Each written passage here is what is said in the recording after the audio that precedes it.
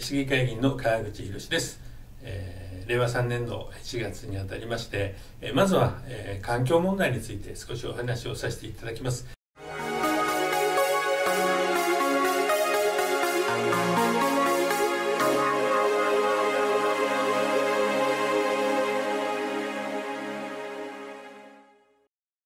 環境と言いますと何をせれこれはせれというと私は難しいのかなというような情報お出しして私たちも教えてもらってみんなで考えてやれることをしていこうと。こう思いませんか？あの気づきの輪を広げていかなければ、えー、なかなか進んでいかないなと、えー、こうしてないじゃないかああしてないじゃないかでは、えー、みんなやらないようなことにもつながりかねない、ぜひですね、環境問題、え、特に小学校ぐらいから、え、ずっとライフワークとして考えるまたそういう機会をもっともっと増やす取り組みが必要かなと。え、今、え、温暖化対策、まあ、CO2 削減やプラスチックごみあります、え、どうしたらいいのかなと。原子力もいろいろ問題ありますし、え化石燃料もなくならないと気づかないのかなっていうような、えことになってます、えやっぱり安ければ日本じゃなくてもやはりよその国がそういうのをたくさん今から使うかもしれません。CO2 が、えどんどんどんどん増えて、え海水温が上がると魚は取れないし、え島のような国は水海に浸かってしまうかもしれません。是非ですね、え輪を広げてやっていかなければならない。いろいろ考え方手法が違うもんですから難しいと思います。行政では地産地消もそうと思いますし、えー、なるだけですね。水も足らなくなることになると思います、えそういったものをもう食料を輸入すること自体水も合わせて向こうでたくさん水を使ったものを持ってくることになります、えー、まあ、地産地消を進めながら、え個人的には、まあ、CO2 も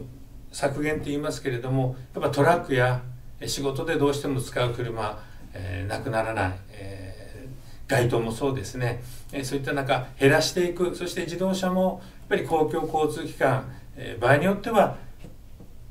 空港から粕谷の方まで延伸していいかもしれません。コストはかかるから見合いが問題ですけれども毎日渋滞になるぐらいならば、え、車じゃなくていい方はそこに、え、置いていく、ま、置いて乗り換える。またはもう車も、えー、そこができればですね、え今度はカーシュアリングで必要な時にレンタカーを安く借りれるような時代になればなと思います、えそういった問題、えたくさんあると思います、え私はまたあのできれば電池自動車も、えー、今はいいんでしょうけれどもこれも電池というのは重金属たくさん使いますしやっぱり製造コストかかると思います。できたら、えー、水素本来ならもっとですね、えー、自転車とかの方がいいんですけれども、えー、まあ、オーストラリアには240年目ぐらいだったと思いますが泥炭中か、えそういった石炭のちょっと使えないようなやつもそんなのを燃やさずにエネルギーにする。太陽光パネル。これも作るようにお金は少しかかります、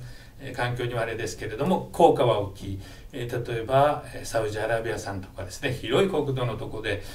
太陽光たくさん作ってもらって何倍か発電するんじゃないかなと。タンカーで水素として貯めて持ってくる時代になるかもしれません。でそれを今エネオスさんとかも一生懸命取り組んでおられますし、えー、岩谷さんとかもですね北九州で、えー、頑張っておられます、えー、そういったものがやっぱり採算が合う。例えばバスの営業所一つで活用してみるとか、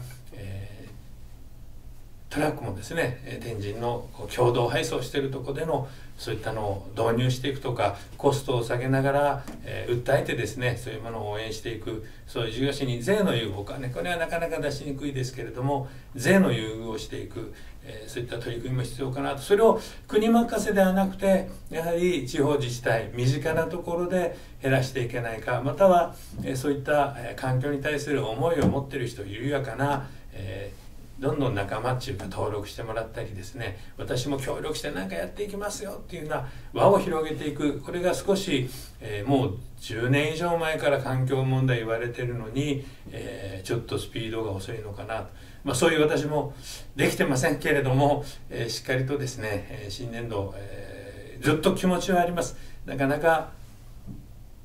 どうしていいかって少しずつしかできない。そこをみんなの力で、えージョギングしてるのを少し掛け足してみるそういった取り組みできるようにしっかり訴えていきたいなと思います。